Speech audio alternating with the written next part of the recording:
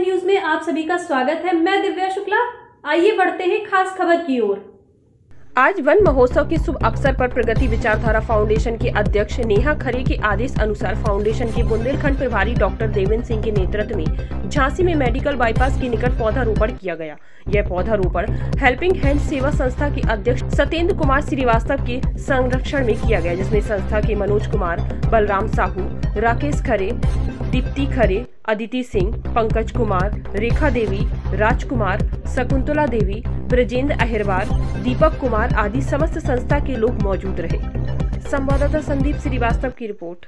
गायत्री विद्या मंदिर रेवन मऊरानीपुर में बच्चों के उज्जवल भविष्य के लिए प्रवेश हुआ प्रारंभ। विद्यालय में हिंदी मीडियम और इंग्लिश मीडियम ज्ञान के साथ साथ बच्चों को संस्कारी बनाने का पूर्ण प्रयास।